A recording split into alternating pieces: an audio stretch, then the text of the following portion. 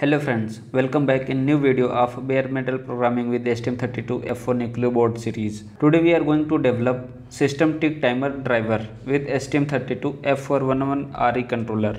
So let us get started step by step.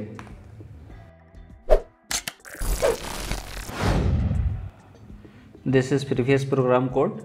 So I will create here new project, go to project, new µVision project and I will create here new folder.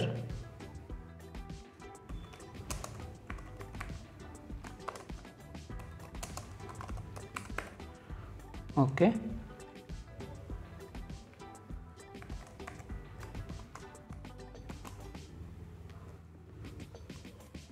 Okay select here controller name stm32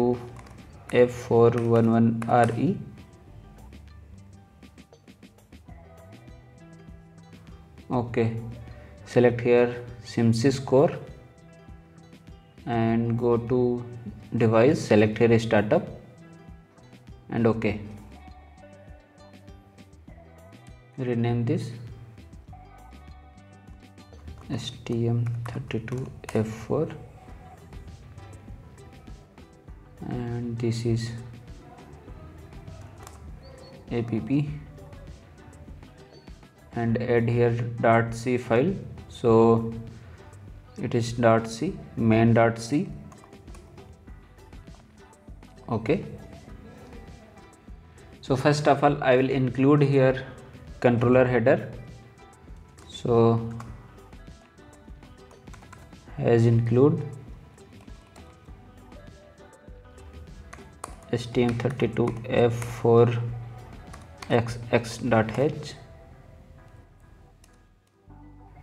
create here int main function. Okay. I will create here while loop. It is infinite. Okay. I will type here code from here. Now I will go to target option and select here 16 megahertz clock frequency and go to debug and select here ST-Link debugger. Go to settings and go to flash download. Select here reset and run. Ok. And go to again target option and select here default compiler version 5 and then ok. Okay so first of all i will enable clock source of port a. So rcc it is connected on ahb1 bus. And or logic. And it is one left shifted by 0 okay. And i will make as a output to pa5 pin because internal LED is connected to PA5 pin. So GPIO A mode R.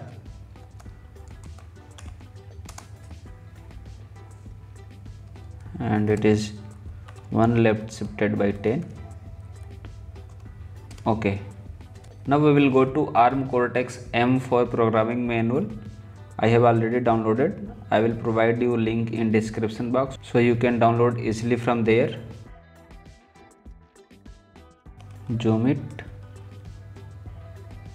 and go to SysTick timer. So first we will go to SysTick load. And we will load the time there this is SysTick load register here we have to load the time. So I will type here.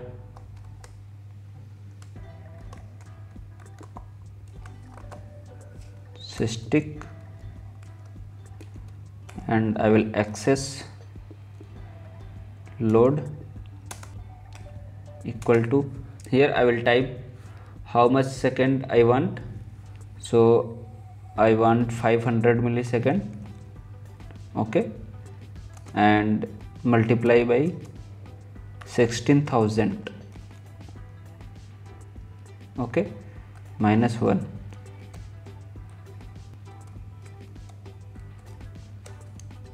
okay. I will tell you uh, how I will calculate this. You can see here our board clock frequency is 16 megahertz. So 16 megahertz means it will execute 16 million cycle in one second.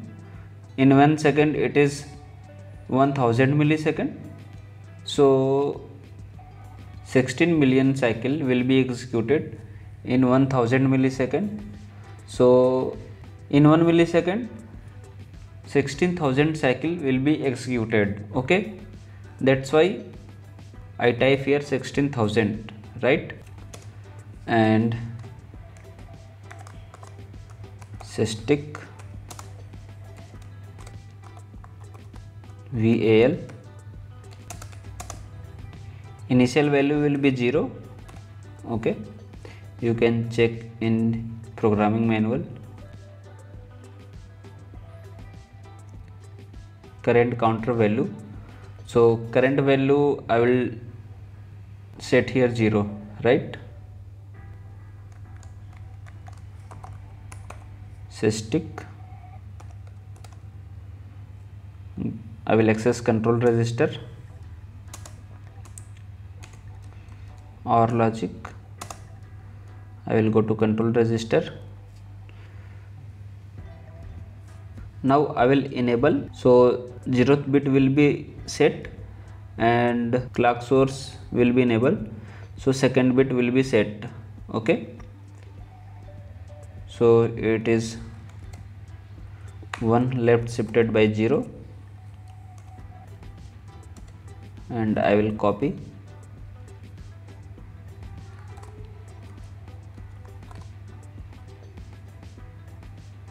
second bit will be 0 right?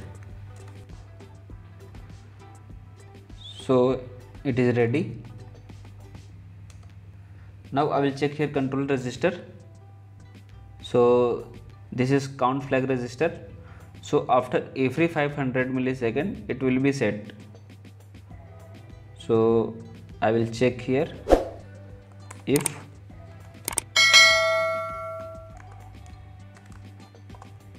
SysTick control and one left shifted by 16 okay? I will check here. 16th bit. So if it will be set then LED will be toggle. So GPIOA ODR XOR equal to PF5 is fifth number bit so one left shifted by 5 right? Now code is ready. So I will type here comment